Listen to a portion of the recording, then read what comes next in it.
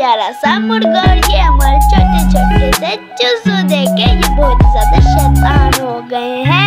ये हमारा मुर्गा भी आज नीचे आ चुका था। तो ये हमारी मच्छरदानी है जो कि हमने एक सिलाई कर ली है। बाकी बाकी सारी वैसे पड़ी, वो भी मैं आपको दिखाती हूँ। ये देखे, ये इसको हमने सिलाई कर लिया।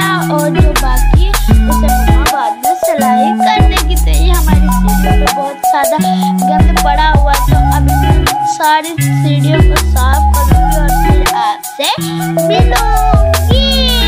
मैं सारी सीढ़ियों को साफ़ कर तो तो देखिए कि मेरे कपड़े में साफ़ करके आ तो चुके मेरे बालों का मेरे मुँह का अभी धोती हूँ और फिर अच्छी बच्ची बन के आपको दिखाते तो फाइनली मैं अच्छी बच्ची बन के आ चुकी हूँ मैंने कपड़े भी चेंज कर लिए। वो भी चेंज कर मेरे चैनल को लाइक कर सब्सक्राइब कर।